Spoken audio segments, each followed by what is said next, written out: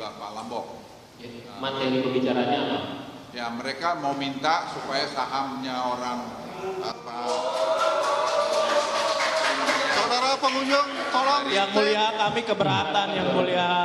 eh, para ketua adat dari masyarakat asli di sekitar wilayah Tembagapura, areal lokasi Freeport. Permintaan itu dipenuhi tidak? Untuk Ya karena, saya, karena menurut kami eh, bukan tanggung jawab kami, eh, kami menyampaikan ke Pak Lambok karena beliau yang ahli hukum, coba dilihat supaya semua sesuai dengan hukum.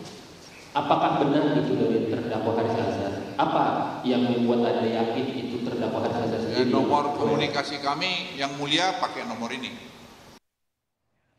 Secara eksklusif, Kompas TV mendapatkan tangkapan layar percakapan WhatsApp antara Haris Ashar dan Luhut Binsar Panjaitan. Dalam percakapan tertulis, Haris meminta waktu untuk bertemu Luhut membicarakan 8.000 karyawan Freeport yang di PHK sepihak.